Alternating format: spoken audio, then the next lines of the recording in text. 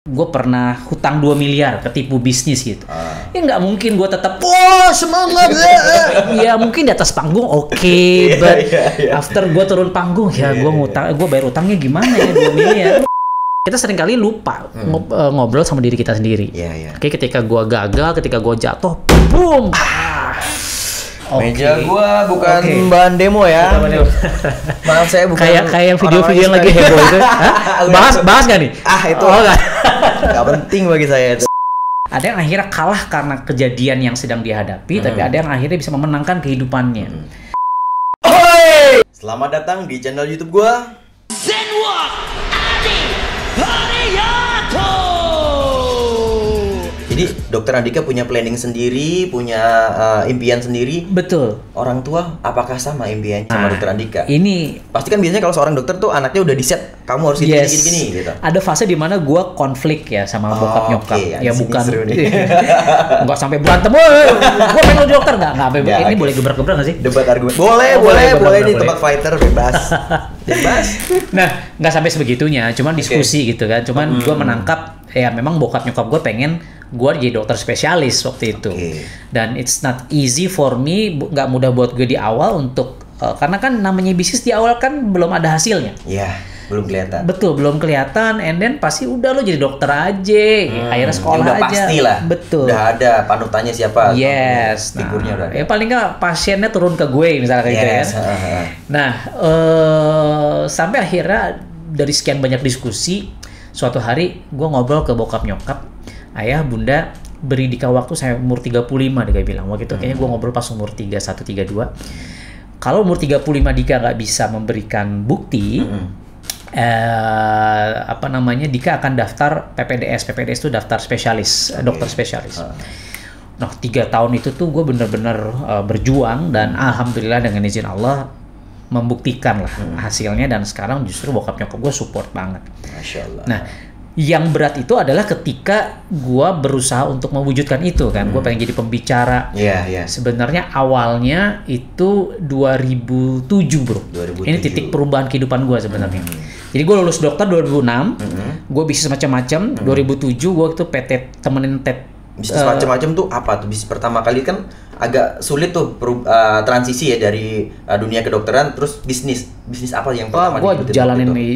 Di- dari zaman kuliah ya. Heeh. Gue jualan jilbab, jualan handphone, jualan voucher, gue jalanin MLM, jalanin wah macem-macem yang karena tadi kan gue pengen nikah muda, gue Iya, butuh iya. duit. Iya, iya, iya. Nah, akhirnya sampai lulus dokter ya bisnis-bisnis itu ada yang tetap bertahan, ada yang enggak. Jadi apa aja di bisnisin? Apa aja yang bisa dibisnisin? Yes, bisnisin? betul. Oke, oke, Apa oke. aja. Jadi gue nggak tahu malu orangnya. Itu sebenarnya uh, rahasia-rahasia di balik seorang kesuksesan seorang pengusaha itu itu.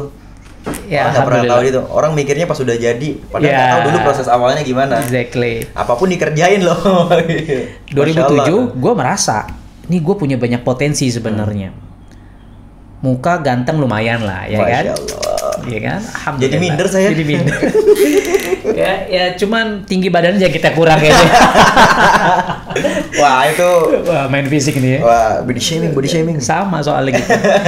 Eh, ya gue merasa gue punya banyak potensi. Oke, ya Allah oke. kasih, masya Allah. Cuman kok hidup gue gini-gini aja. Kayaknya something wrong with me. Hmm. And then akhir 2007 gue bikin resolusi. 2008 gue gua akhir 2007 gue me, me- me- menganalisa Hmm.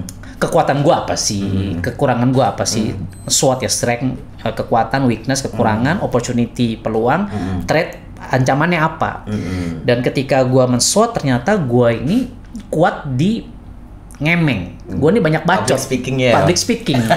gua ini suka sharing kayak gini Iya, kan iya, gua iya. wah happy gitu. Gua kayak dapat energi Iya, untuk iya. berbagi. Bacot yang bermanfaat. ah, bacot yang berduit cuy. Maaf kita agak ya keras karena fighter. Nah, di situ gue oke, artinya gue punya dreams baru. Hmm. Iya. I want to be an international speaker. Iya, iya. Ya kalau bahasa sekarang gampangnya motivator lah. Gue pengen jadi pembicara internasional. Hmm. Waktu itu gue tinggal di Palembang. Amin, amin, amin. Saat itu udah gue bener-bener belajar tentang public speaking, Hmm. gue belajar ada namanya hipnoterapi, belajar NLP, neuro linguistic programming, Hmm. gue les bahasa Inggris, oh saking semangat, gue belajar, Mantap. gue les Saya suka itu. ini gara-gara produk yang saya minum semalam jadi terus semangatnya kan, ya produk ini nih ya. ya, oh, habis minum ini. Oh, iya. Pantesan, over ya. Nah, gue inget gue belajar bahasa Inggris karena gue pengen jadi international speaker. Mm. Gue les bahasa Inggris sama anak-anak SMA, sama anak kuliah. Gue paling tua di kelas waktu itu, bro. Dan gue jalani proses itu dan banyak orang yang nggak tahu proses itu gue lakukan karena gue punya dreams. Iya, iya. Gue pengen bicara di berbagai panggung di di berbagai negara gitu. Yes, internasional. Internasional dan ya alhamdulillah dengan izin Allah gue udah bicara depan banyak panggung di internasional Masya Allah. seperti itu. Berapa negara yang udah dikunjungi? Gue bicara di Amerika udah beberapa kali sekali bicara itu depan 3.000 4.000 orang. Wow. Dan yang bikin amazing buat gue itu adalah kan bahasa Inggris gue juga broken English ya bro. I mean ya English gue nggak yang fluent gimana Yeah. gitu. But they could cry, dia bisa ikut nangis, ketawa, and then gue waktu itu bicara di LA Audiensnya bisa sampai segitunya ya? sampai segitunya. Wow, And biasa. then terus gue di New York Hmm. ada satu orang kulit hitam, terus dia ngomong, bro, thank you, eh, coach, thank you very much dia bilangin. Dan ini membuat gue merinding sampai saat ini. Hmm. Gue sebelumnya nggak pernah ke gereja dia bilang, which is gue Muslim dia Nasrani gitu kan. But because of your speech dia bilang at Anaheim gue bicara di LA waktu itu, sekarang gue ke gereja terus. Wow, gue bilang. Jadi maksud gue ketika kita mau menyampaikan dari hati, ya nyampainya ke hati juga, gitu kan? Walaupun itu berbeda ini ya. Yes, exactly dan ya itu pengalaman gue di Amerika beberapa Tapi kali. permainannya di situ hati. Iya. Ketika tulus menyampaikannya akan kena juga gitu. Betul. Hati audiensnya. Ya dan banyak negara lah, India, eh, Asia banyak lah gue manggung di di Australia di mana. Luar biasa berarti udah ternyata udah jadi motivator inter- internasional. Alhamdulillah, alhamdulillah. Masya Allah. Pantesan centang biru. Cetak biru. Gak nyangka juga udah dapet centang dari Instagram gitu kan. Alhamdulillah. Masya Allah. Gitu. Udah follow belum Instagram gua? Follow dong, amazing. Yo, insya Allah kita follow. Langsung kita follow. Asyik. Tapi gue follow nggak di follow back, kesel gue. Enggak enggak dia kalau follow aku follow. Oke. Oke, oke, oke. Ini kan Dokter Andika sebagai seorang international motivator. Alright. Nah, pernah nggak sih kehilangan motivasi diri sendiri? Oke. Pernah kehilangan motivasi nggak? Ya pernah lah, kan gua manusia cuy, ya kan. Jadi lu mau kata motivator, gua, gua ikut Anthony Robbins berapa kali dua apa tiga kali gitu, itu kan like number one motivator gitu, uh, success coach. Ya kita manusia lah, Iya. Iya kan, gua pernah gue pernah gue pernah hutang 2 miliar ketipu bisnis gitu. Ah. Ya nggak mungkin gue tetap wah semangat. ya mungkin di atas panggung oke, Iya, but iya, iya. after gue turun panggung ya Iya, gue ngutang, gue bayar utangnya gimana ya 2 miliar? Lu kebayang dong. Iya, iya, so iya. we are human, Hmm, ya. but yang membedakan gua dengan yang lain karena gini. Hmm. Orang sama-sama hutang, gak usah ngomong 2 miliar deh. Utang 2 juta, 200 ribu, ada yang sampai bunuh diri gitu Pikiran kan. terus gitu. Betul. Ada yang akhirnya kalah karena kejadian yang sedang dihadapi, tapi Hmm. ada yang akhirnya bisa memenangkan kehidupannya. Ya. Nah, itu yang membedakan mungkin alhamdulillah eh, gua dengan yang lainnya yang mungkin akhirnya kalah dengan kejadian yang me- me- me- me- membunuh mereka Ya, seperti ya. itu. Jadi Jadi bahaya seorang motivator tuh malah serem ketika mereka drop dengan motivasi diri sendiri malah hal-hal yang nggak kebayang orang biasa ini yang yes, betul. eh, tindakan yang dilakukan gitu ya. Exactly. Bisa di Jadi kalau ini. gua ya manusiawi, apa yang gua lakukan, gua banyak ngobrol sama diri gua. Jadi banyak teman-teman sahabat Zen Walkers izin pakai Zen Walkers ya. Siap. Thank you, Dok. Iya, Zen Walkers di mana pun anda berada, kebanyakan orang nih kayak misalnya kita gini nih, lo gini, lo lo ikut training communication, lo ik- lo belajar komunikasi dengan orang lain, ya kan? Lo perbaiki komunikasi dengan orang lain, tapi kita sering kayak lupa how you can communicate better with yourself. Iya. Bagaimana lo bisa berkomunikasi dengan lebih baik Benar, benar. dengan diri lo Iya. level yang lebih dalam lagi dengan Tuhan ini lebih berat lagi wah, bahasannya, betul kan? Tapi kita ngomong, kita sering kali lupa ngob- eh, ngobrol sama diri kita sendiri. Iya, iya. Oke, ketika gua gagal, ketika gua jatuh, boom. Ah. Oke. Meja gua bukan Oke. bahan demo ya. Bukan bahan demo.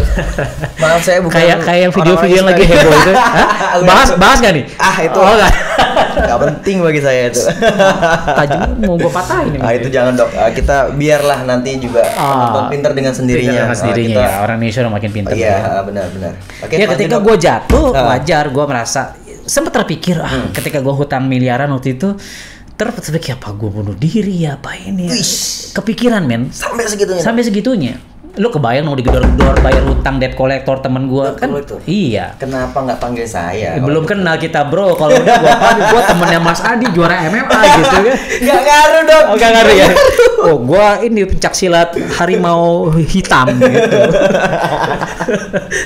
Nah itu mungkin kalau pencaksilat itu bisa ngadepin deck collector, Ah, deck bisa ya. karena soalnya mereka selalu siap setiap saat. Uh beton aja Iya, dipecahin ya kan. Kalau mereka kan uh, selalu siap di kondisi kapan pun. Ah. Selalu siap. Siap. Apa pun yang terjadi selalu siap. Pasti Kalau saya fighter butuh persiapan Oh. dulu.